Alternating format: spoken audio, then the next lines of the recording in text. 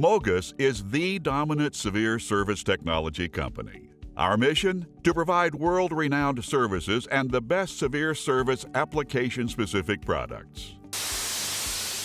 Coating is an integral part of our valves that are used in the harshest of severe services in power, chemical, heavy oil, and mining operations.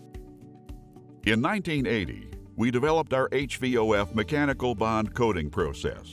By 1992, MOGAS established a coating research and design program that included the spray and fuse process. Over the decades, our innovation expanding our proprietary coatings has extended the life of MOGAS valve. Our patented nanostructure titanium dioxide coating, introduced in 2001, changed the autoclave industry forever. Coating advancements didn't stop there. MOGAS continues to invest significantly in manufacturing and surface technology capabilities.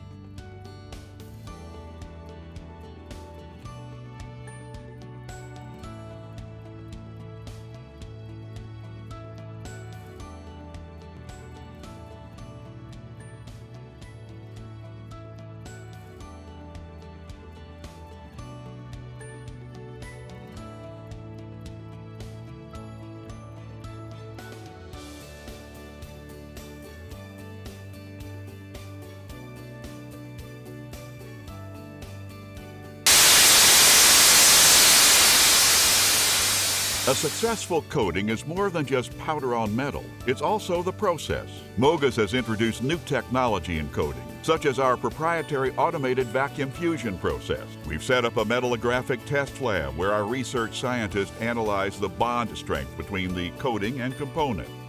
Our customers benefit from improved manufacturing processes and the innovation of our coatings. As our valve's coating life extends, plants run longer and operate at peak efficiency. At MOGAS, our purpose is to make a meaningful impact on each other, our customers, and the industries we serve.